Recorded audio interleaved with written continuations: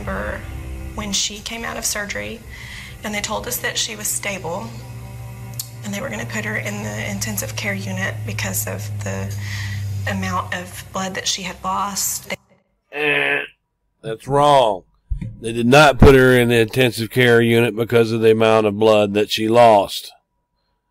Both of the doctors testified as why did they put her in there. But I'm gonna let this run. They wanted to really monitor her closely. Now she wants uh she, she this uh, that's Danelle. She wants us to believe that they wanted to keep her because they were so worried about her blood loss that they had to put her over in the ICU. And that's absolutely not correct. I would encourage anyone to go look at uh, Alexander Santos and uh, Dr. Dillon's Dillon's uh, testimony. The reason that they left her there in the ICU unit is because of the extenuating circumstances of her being attacked. They wanted her to rest. They wanted her to keep. It wasn't about blood loss that put him over there, and both doctors clearly stated that. So here she's trying to tell us that she needed to be watched because she lost so much blood, and that's absolutely incorrect. J- go look at the testimony. Al, I mean, I could put it here, but it's it's clear they would have just sewed her up and sent her home. Both of them said that if it wasn't for the attack.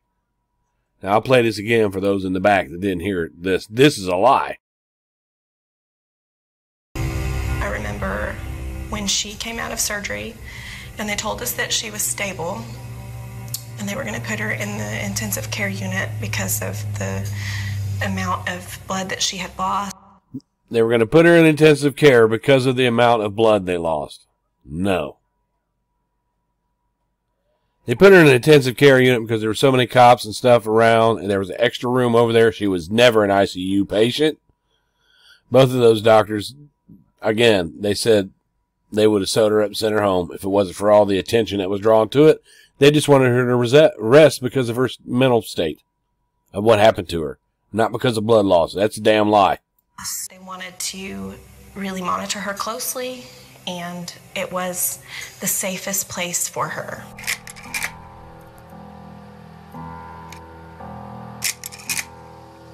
We were at Darlie's side, and she was a little bit groggy from just having the surgery. And Danelle says she that that she's a little bit groggy from just having the surgery. But when you listen to Dr. Santos and Dr. Dillon, uh, that they were gonna that they went back to check on her while she was in the ICU, and Santos he, he, he he's talking to her. He says there's family members there. She's talking, and he said he didn't recognize her as groggy, and that the effects of the anesthesia have worn off. That was his opinion.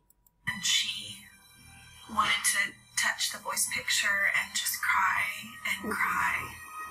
And she Now she's in a room full of family, and they brought the picture to her, and she let's say she she she knows she did this. What would she do with the picture? Say, no, get that away from me.